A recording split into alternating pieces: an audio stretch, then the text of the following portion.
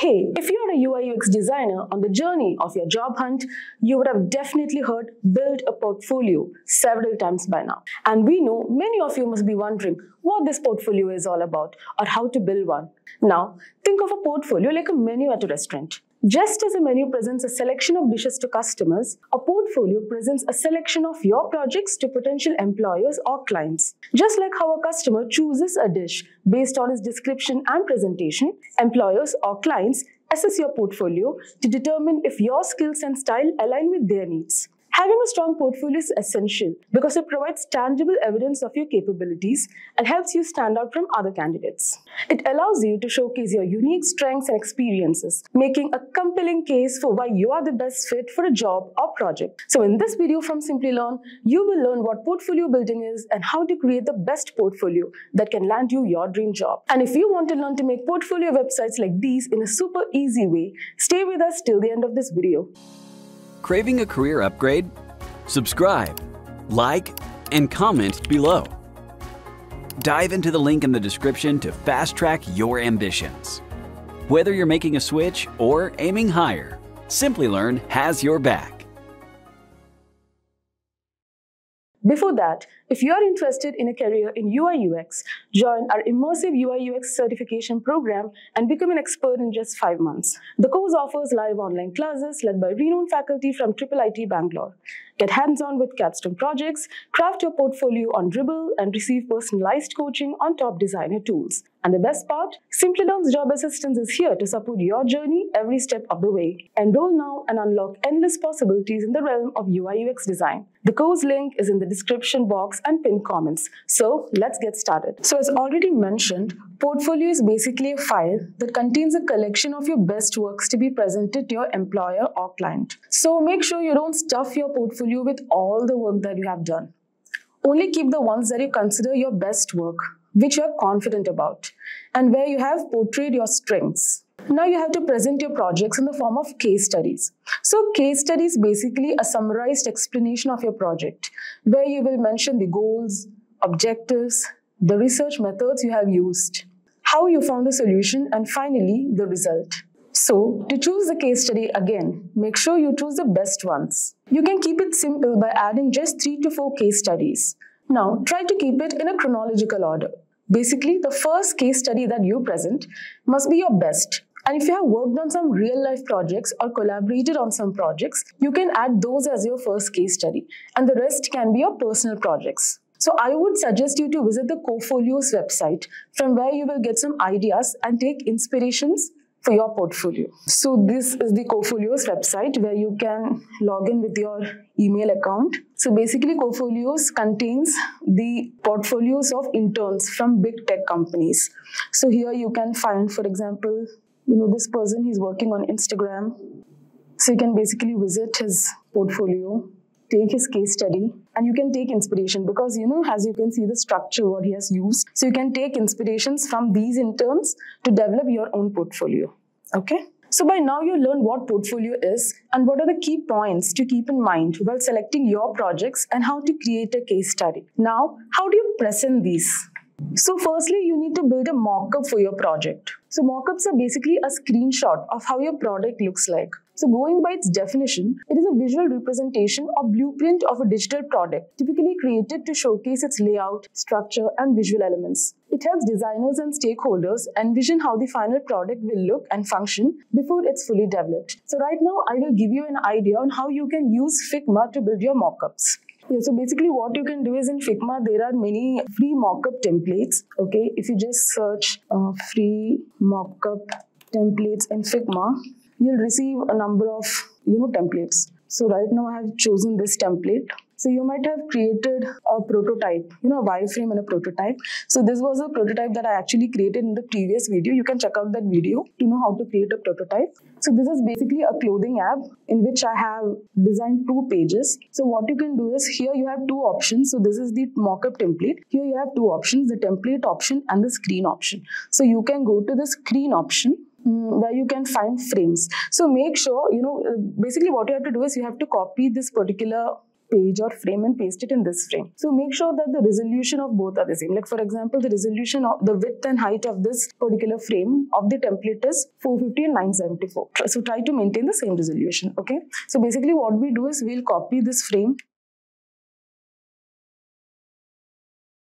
we'll paste it over here. So this is my first page. Now you'll copy the second page and paste it in the second frame. Yeah.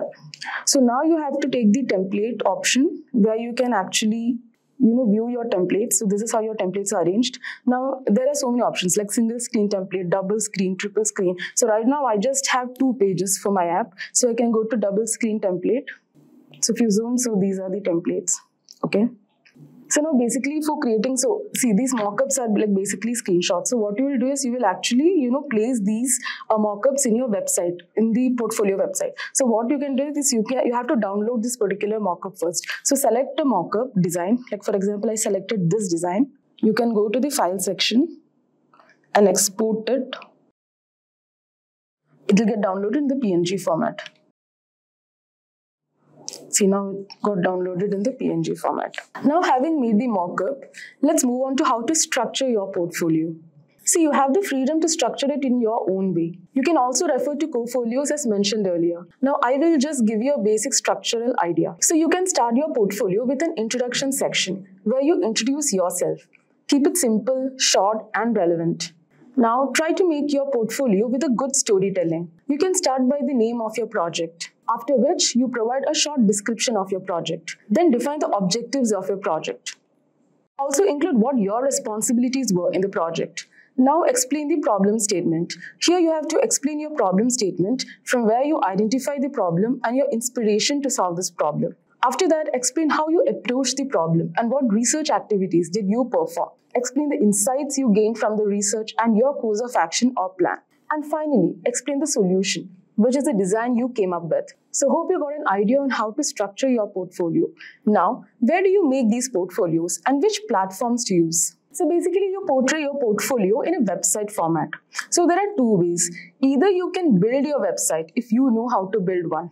But we recommend you to use web builder platforms so that you can save your time and concentrate more on your designs. So there are many web builder platforms such as Odoo, Squarespace, Behance, Notion, etc. So today I'll be just showing a demo on how to create a basic demo on how to create a portfolio website on Squarespace. Yeah, so this is this will be your Squarespace page. So you have to, you know, sign up using your Gmail account or any email ID. And first you'll get a number of questions which asks your interests. Either you can select those or skip those options. And finally, this will be the page that you land in. So you can select portfolio option and in that you can select photography option. So you will get so many templates from which you can select any of your choice. So basically you just need a basic idea because you know mostly we'll be deleting the other sections and creating it on our own. So yeah, I will select this particular design. We'll get started with this design. Just a second. Mm, it's taking a bit time. Yeah. So here they will ask you what site title do you want. Okay. So I'm just giving my name because it's my portfolio. So I'm just giving my name yeah just give next next get started. Yeah. So here's your template a basic template. Now what you can do is you can edit this. You can go to the edit section. Yeah. So now you came here. You can edit the site header. So this is the header this is the body and this is the footer. So right now we are editing the header. You can actually add elements. See for here right now we have work inquire and about. So if you want you can add elements. Like if you want to add your social media links you can just you know press this button where you can actually add a social media link. Like let it be instagram facebook or anything of your choice. So this is how you can add elements or you can delete elements in a header. Now we'll go to the body. We'll create our own body so that we'll remove all these sections now.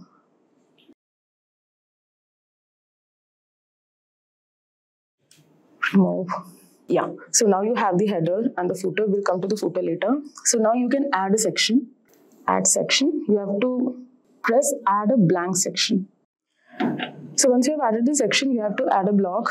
So basically now we are going to you know place our mockups. So we already downloaded the mockup screenshot we which we made in figma. So now we add the block choose image upload file go to downloads. Just a second Yeah, so now this got uploaded. Now you can also add a description or a text. so that again, you can add a block, go to text. You can place this, uh, just a second. Yeah, you can place this text below. And for example, I'm just adding X, Y, Z collections because that's my app's name. Now you can change the font, you know, the style of your text. You can center align it, yeah so you can change everything. Also if you want you can add a description below like what your app is all about okay? So this is how basically you add a blog. Now i had also created a mock-up for a website.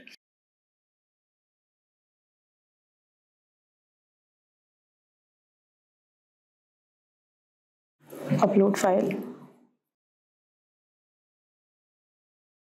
So this is basically how you add your mockups in an image format okay? And again you can give a description about how i give it here. So this is how you can actually you know design the body of your website's page. You can use your own creativity. I've just given you a basic idea on how to use the options. So our header is done our body is done. So now we'll come to the footer. We'll edit the footer. Basically we don't want this. You know what? We'll remove the whole footer section itself yes. Now we'll add a footer. Now there are so many templates that you can use right? So let me just go through. Mm, yes. So i'll use this. Okay. There is an about section contact section follow section a social media section. Also if you want to even here you can add a text or an image. Yeah. So here i've added a text. Maybe i can just paste this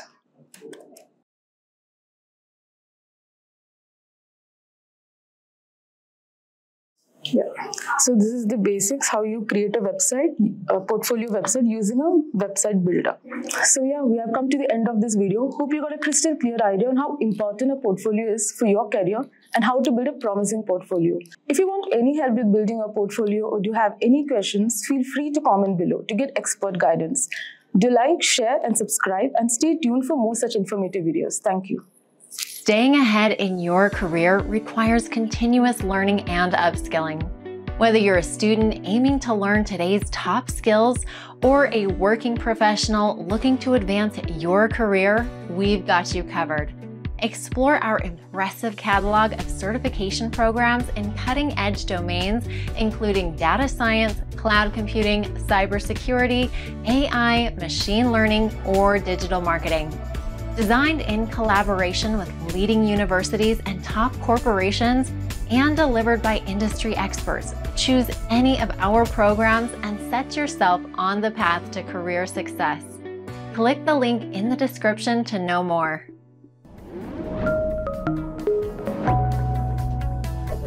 Hi there, if you like this video, subscribe to the Simplilearn YouTube channel and click here to watch similar videos. To nerd up and get certified, click here.